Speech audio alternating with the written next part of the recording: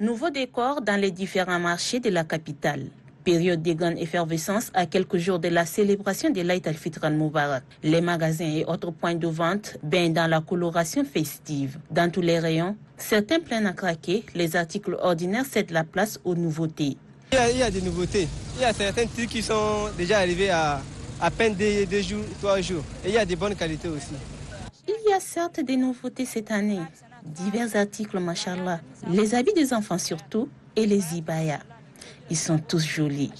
Ça grouille de partout dans les magasins. Et ce, à la recherche de l'idéal. Tous veulent sortir le grand jour pour cette fête de fin de Ramadan. Les tout petits sont aussi de la partie. L'envie de satisfaire ses progénitures occupe une bonne place dans le portefeuille des parents. C'est pas pour euh, comme euh, pour l'année passée là. L'année passée là, c'est un peu mieux que l'année là. Parce que l'année passée là, le marché là, c'est ça serré avec les gens. Une seule raison explique ce manque d'engouement. Et c'est le prix des articles qui n'est pas à la portée de tous. Les clients et vendeurs s'en plaignent. C'est vrai qu'il y a des nouveaux articles, mais les habits sont chers et ne sont pas à la portée de tous.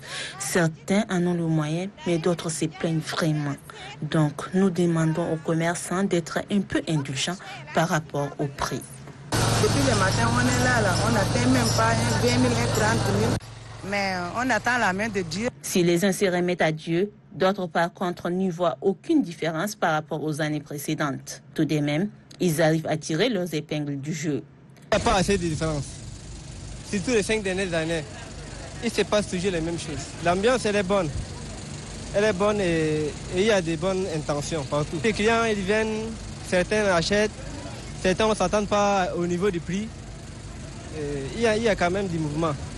La fête de Ramadan exhale déjà son odeur et couvre tous les marchés. Le chrono court et le stress monte. Mais dans tous les cas, rien ne pourra entamer cette fête qui s'annonce dans quelques jours.